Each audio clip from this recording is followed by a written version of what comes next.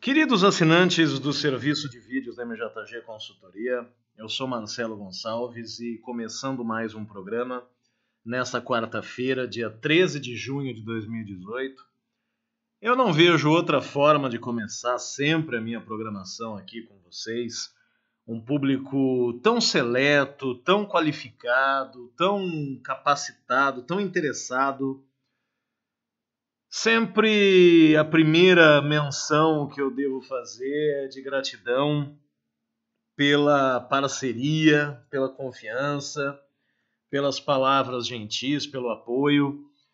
A gente insiste sempre também em dizer que no momento difícil econômico que o país vive, uma crise, pelo menos eh, na minha vida uma crise sem precedentes, porque ela envolve não apenas a questão econômica, financeira, que já aconteceu outras vezes, o brasileiro convive com isso há muitas décadas, mas também uma crise de identidade moral, de valores, de procedimentos, de condutas dentro de um espaço coletivo. Foi até uma das razões pelas quais nós tivemos que segmentar o conteúdo, porque não dá para você hoje, hoje no país. Aliás, isso já é uma tendência até mundial, mas não dá para você desenvolver um raciocínio de opinião crítico que fala a verdade e acaba desagradando aquelas questões pequenas que muitas pessoas dentro da sua pequenez acabam tendo muita dificuldade em compreender. É muito bom estar aqui, onde a gente tem um espaço, é, é o nosso mundo à parte, onde já há um grupo maravilhoso e pessoas vêm chegando, entendendo a proposta e conforme a sua própria disponibilidade orçamentária, porque, como eu dizia, a gente sabe que o momento financeiro não é fácil. Para nenhum de nós é fácil. E esse consultor observa isso no dia a dia. E, de certa maneira, todos nós somos afetados, em maior ou menor escala, todos nós somos afetados por isso. Então é muito bom a gente poder trabalhar da maneira intensa como temos feito nas últimas semanas, junto à nossa clientela, abordando, participando de muita coisa não tendo até muito tempo para fazer conteúdos aqui, porque vocês sabem da minha demanda em fazer sempre o melhor trabalho possível, mas ao mesmo tempo em que dá essa satisfação enorme, gigantesca de estar aqui com vocês, existe um sentimento amargo, um sentimento ruim de frustração, de decepção, uh, com alguns rumos que acontecem no nosso mercado. Quando a gente olha do lado e vê que no Brasil nós temos um produto de péssima qualidade sendo oferecido quase sempre, mesmo os produtos bons que vêm para cá quase sempre sofrem algum tipo de depenamento comparados com os seus equivalentes do mundo civilizado. Só para a gente recordar, eu chamo de mundo civilizado Estados Unidos, Europa, Japão, Austrália, países onde os cidadãos são orientados, são educados desde pequenos a saber fazer, dar o valor ao seu dinheiro, ao seu trabalho, e as empresas, sabendo disso, quando vão se estabelecer nesses lugares, elas sabem que elas precisam atender a padrões de qualidade de exigência muito elevados. Infelizmente, aqui onde nós estamos, é, o buraco é mais embaixo, e por esse mais embaixo entenda-se menor qualidade, menor cuidado, menor preocupação, porque as coisas vão acabar funcionando de qualquer jeito. E nesse embolamento, como eu digo, é que a nossa, a nossa sociedade como um todo e o mercado de automóveis é uma mostra claríssima disso. O mercado de carros mostra para a sociedade brasileira o que o Brasil é, e essa imagem não é uma imagem saudável não é aquilo que nós gostaríamos de poder mostrar aqui. Eu queria poder mostrar aqui algo muito diferente do que o que está estampando a sua tela aí enquanto eu fazia esse pequeno editorial barra agradecimento a todos vocês. Na data de ontem, dia 12 de junho, foi divulgado o resultado do teste de impacto do Renault Sandero e, por tabela, por consequência, do Logan, que é o sedã do Sandero, com duplo airbag, afinal de contas, essa é uma imposição legal no Brasil. Legal no sentido de lei, não no sentido de ser bacana, porque, como eu digo sempre, um duplo airbag, um ABS, não representam em si grande coisa. E a prova está aí, né? Sandero, uma estrela para adulto, três estrelas para criança. A gente vai analisar o vídeo do, do impacto do Sandero. Vocês vão ver que, principalmente no aspecto lateral, aliás, enquanto eu vou falando, vamos rodando aí o vídeo, né? No teste frontal, embora a pontuação relativamente no frontal tenha sido até pior do que o lateral, o que a gente observa no impacto nas portas é notadamente o resultado de um produto de baixa qualidade, onde não se preocupou nem um pouco com a segurança de um consumidor que paga caro por esses carros eu insisto em lembrar. A Renault foi elogiada por mim no ano passado, é, dentro das relatividades do mercado nacional, quando lançou a Captur 4 estrelas. Não era um resultado excepcional, mas era um resultado razoável. E quando lançou o Kwid 3 estrelas, em diferença do Kwid indiano, que levou zero estrela e foi testado mais de uma vez. Nós elogiamos, consideramos que relativamente era um produto que não estava sendo vendido tão ruim. Olha só o impacto lateral, o estrago gigantesco devido ao carro não ter uma qualidade construtiva, uma robustez para poder absorver isso daí sem transferir para os ocupantes uma parcela expressiva desse, desse impacto e que acabaria causando, olha só, hein? Acabaria causando severos danos a esses ocupantes. Eu chamo a atenção nas imagens aí que foram mostradas o quanto adentra o habitáculo, né? Nesse impacto lateral, você observa o quanto o habitáculo é invadido. Olha só, a porta ali, o que, que acontece, é algo digno de nota. Então a Renault, que foi dentro da relatividade elogiada por nós nos resultados que mostrou no ano passado. Nesse ano tem aí uma uma mostra decepcionante. Aí você tem a legenda, né? Onde o verde são as áreas do corpo dos, dos bonecos aí, dos dummies, que receberam uma proteção adequada. Na cor amarela é onde a proteção é adequada e daí para frente, quer dizer, laranja, marrom e vermelho, onde o ocupante teria vários teria vários problemas caso passasse por um impacto nessas condições.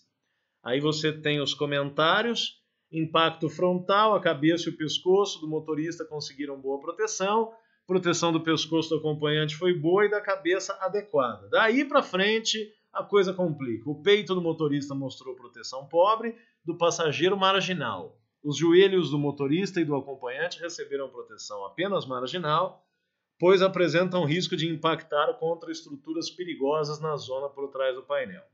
As tíbias do motorista e do acompanhante ganharam boa proteção. As áreas dos pés estável exibindo deformação insignificante, sendo a proteção dos pés adequada. A estrutura do habitáculo, como a gente mostrou, foi considerada instável, eu diria muito instável. Impacto lateral.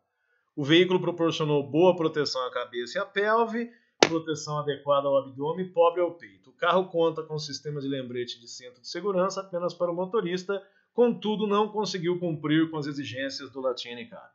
Tudo anteriormente explicado corresponde ao resultado de uma estrela quanto à proteção do ocupante adulto. Esse é o resultado do sandeiro brasileiro.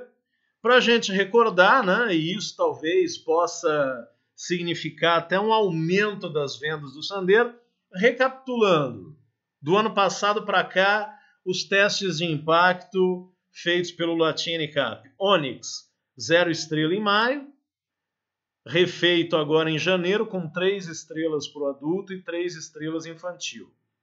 Os outros dois modelos aqui não são vendidos no Brasil.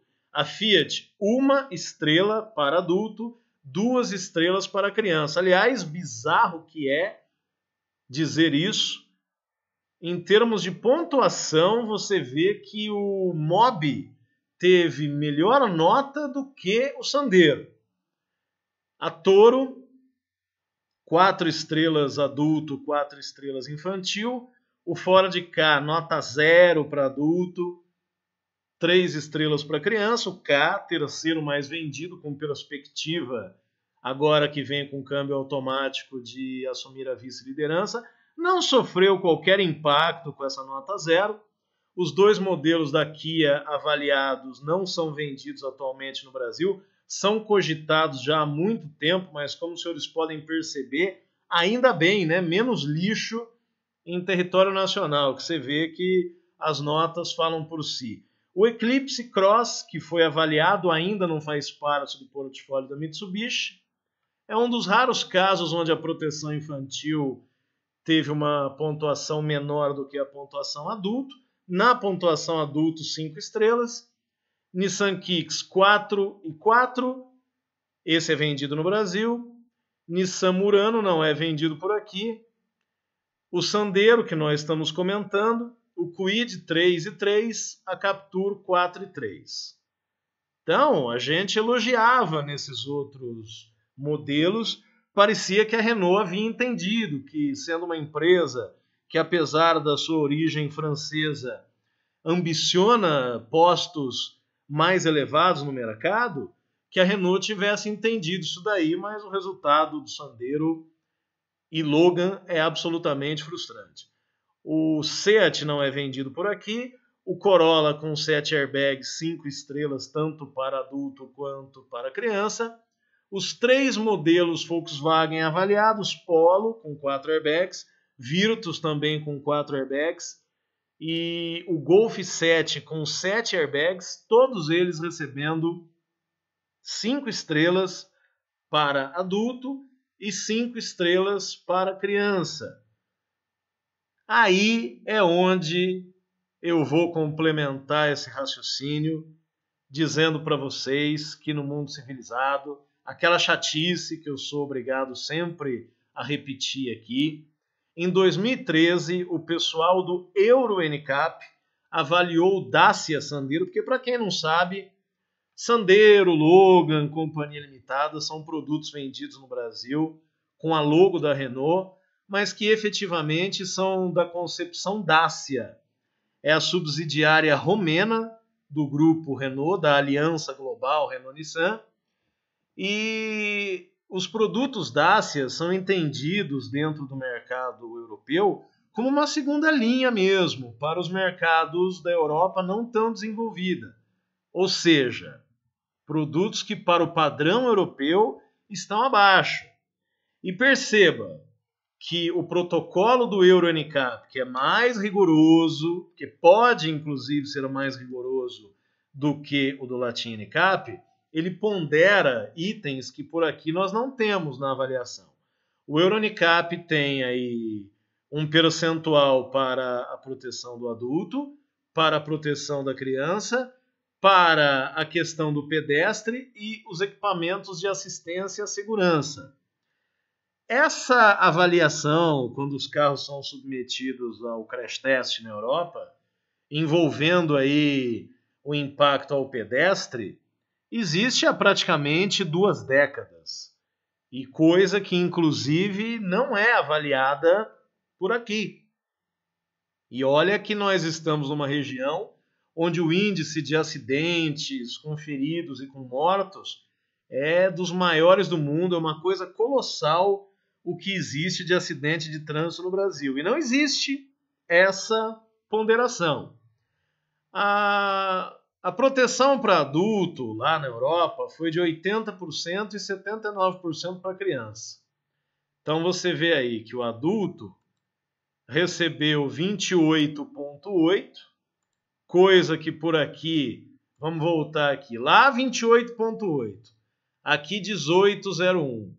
A proteção infantil, que aqui foi 28,97, lá foi 39,2. Então veja só, proteções, índices muito superiores, mesmo você considerando a exigência do mercado europeu, que é muito maior do que a nossa.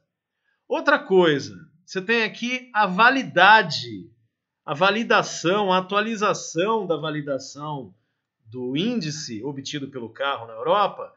Aí você vai observar, ah, mas isso não estaria desatualizado? Ó, maio de 2018 foi feita a revisão aí anual mantendo as quatro estrelas para o Dacia Sandero. Então, meus amigos, é... infelizmente, essa é a nossa vida. Nós temos aqui no Brasil uma qualidade absolutamente decepcionante. Então, o mesmo produto que é vendido na Europa, em outros mercados, quando ele vem para cá, inclusive os produtos um pouco melhores. Ele acaba passando por algum tipo de depenamento, algum tipo de retirada de itens importantes, de estrutura à segurança. Aliás, a propósito, vamos localizar aqui isso é algo muito simples de nós entendermos assistindo ao vídeo do Dacia Sandero. Que o que, que vai acontecer? Você observa aí o teste o teste frontal, você vê que o para-brisa do Sandero europeu ele até se deforma mais ali na, na quina ó, do que o brasileiro. Observe aí mas a estrutura do habitáculo, e principalmente nós vamos observar isso no impacto lateral, e lá eles fazem um impacto contra o poste, coisa que por aqui ninguém faz. Olha a diferença. Então, ó, vamos parar nessa imagem aqui. E vamos voltar para o teste do sandeiro, entre aspas, aí, nosso, para que vocês entendam claramente a diferença. Olha o quanto as portas vão movimentar, elas se abrem, elas ficam totalmente empenadas, invadem e não existem os side bags, coisa que lá na Europa existe. Então volta para o europeu, onde você vai ver. Ó, começa aqui, né? O impacto lateral. Então olha só. Olha o side bag agindo e observe que a estrutura do habitáculo a estrutura das portas tem uma movimentação muito menor, um nível de danos muito, muito, muito menor do que o nosso. O que, que isso significa? De uma maneira muito simples. O produto europeu é mais seguro. O produto europeu é feito com materiais de melhor qualidade, o produto europeu ele entrega segurança para os seus, para os seus ocupantes de uma forma que nós aqui não temos esse produto. Então não é simplesmente discutir o aspecto estético, o nível de acabamento, aquilo que se consegue ver, motores né, mais eficientes lá do que aqui. E olha que eles não precisam de muita coisa, porque a Europa geograficamente é um continente pequeno, você consegue percorrer a Europa inteira andando muito menos do que anda aqui no Brasil. E o que nós temos é um produto aqui mais caro, um produto que às vezes é revestido de uma falsa ideia de status e que lá fora nós observamos que os caras ligam muito menos para carro do que a gente e recebem um produto muito melhor. Uma outra coisa que chamou atenção, abrindo um parênteses, já que nós estamos em plena maratona Yaris, desde o lançamento desse carro, e como nós conversamos aqui, a nossa expectativa, apesar de que a Toyota nunca se notabilizou por empolgar nos seus lançamentos, pelas suas fichas técnicas, pelo recheio dos seus carros, mas com certeza o Yaris ele deixa a desejar em alguns pontos, inclusive nisso, né? Poderia a Toyota ter fornecido o modelo para o teste de impacto, é, iniciar as vendas já com teste de impacto às cinco estrelas. Ainda que as cinco estrelas por aqui também devam ser relativizadas, porque muitas vezes são oferecidos os produtos topo de linha por parte das montadoras e esses produtos topo de linha contêm equipamentos de segurança que outras versões de um mesmo modelo não disponibilizam. Mas tudo bem. A Toyota poderia ter feito, não fez. E o Yaris, que chegou ao mercado nacional na, na quinta-feira passada, foi anunciado pela empresa, ele não traz esse tipo de teste, o que mostra, mesmo porque também, convenhamos, né, quando você analisa que nesse ranking aqui, o que, que nós temos? O carro mais vendido do Brasil, levou uma nota zero, depois um teste refeito, ele leva essas três estrelinhas aqui. O segundo mais vendido do Brasil, que é o HB20, não passou. Nesse período, 2017-2018, com o novo protocolo, não passou pelo teste. O terceiro mais vendido, qual é? Fora de cá, outra nota zero. Aí você tem o Quid, que já frequentou os primeiros lugares com três estrelas. Aí você tem, da, da turma dos primeiros lugares, você tem o Polo com uma ótima nota, o Corolla com uma ótima nota, aí você vai ter a Toro com uma nota boa, quatro estrelas. Você sai do top 10, você tem aí Fiat Mobi, uma estrela. E é um carro relativamente bem vendido no Brasil. Nissan Kicks também, mas com um bom resultado aí das quatro estrelas. Sandero, que acaba de ser avaliado, é um carro que costuma frequentar o top 10, já foi inclusive top 3 em outros momentos. O Quidzinho. Então, assim, o Virtus, que é, tem sido presença constante no top 20.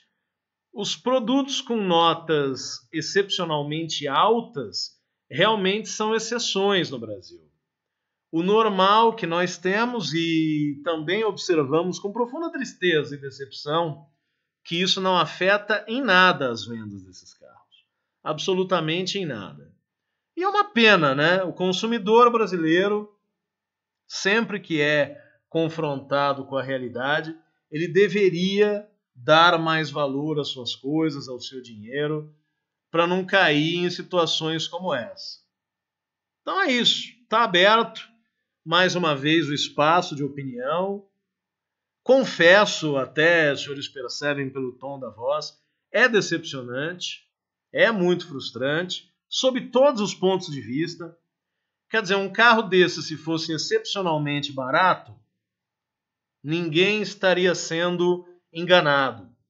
Se esse carro tivesse a mesma qualidade construtiva do que tem lá fora, a gente poderia ficar restrito ao debate sobre preço, mas é um conjunto de coisas que torna a experiência, na maior parte dos casos, absolutamente decepcionante. E não se esqueça que os níveis de exigência para as notas do padrão europeu são muito diferentes dos padrões estabelecidos aqui na América Latina. Então observe aí o tipo de coisa que os caras têm lá fora que os caras analisam. Olha o teste do ESC, ó, coisa que coisa que não existe aqui. Com ele habilitado. Olha só. Então, é nesse ponto que a gente costuma dizer: brasileiro, mercado brasileiro precisa amadurecer de uma forma assim gritante. Olha só, dentro do mesmo padrão, então ó, vamos no, no bonequinho aqui. Esse é o bonequinho brasileiro, esse é o bonequinho europeu. Ó. O máximo, a proteção marginal para o peito, aliás, é interessante, porque isso aqui ele consegue manter, aqui ele piora proteção para a cabeça do passageiro piora muito. As pernas você vê que é, que é uma proteção boa ou adequada o tempo todo. Só aqui, que é contra o poste, que você tem uma resposta ruim. Mas olha só, carro contra carro, ó, boa e adequada, adequada aqui no peito, boa no resto. Olha o que, que nós temos. Boa aqui aqui, adequado aqui, e na principal área, uma proteção pobre. Quer dizer, deixando claro, aqui deixa bem claro, né? De adequado para pobre, deixa bem claro tudo isso que eu disse para vocês. É isso, minha gente. Vamos em frente. Um grande abraço em todos e até a próxima.